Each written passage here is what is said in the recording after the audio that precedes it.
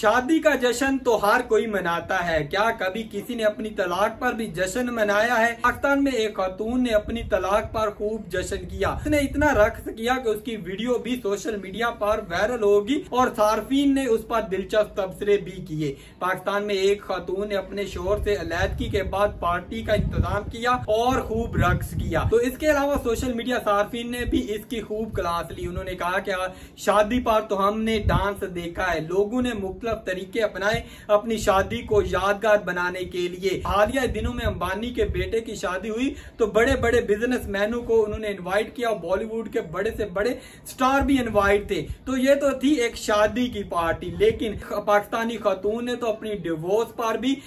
party का एहतमाम कर लिया और खूब इंजॉय किया आपने इससे पहले किसी औरत को या मर्द को अपनी डिवोर्स पर इस तरह रक्स करते हुए देखा है अगर देखा है तो कमेंट सेक्शन में लाजमी बताइए 저희가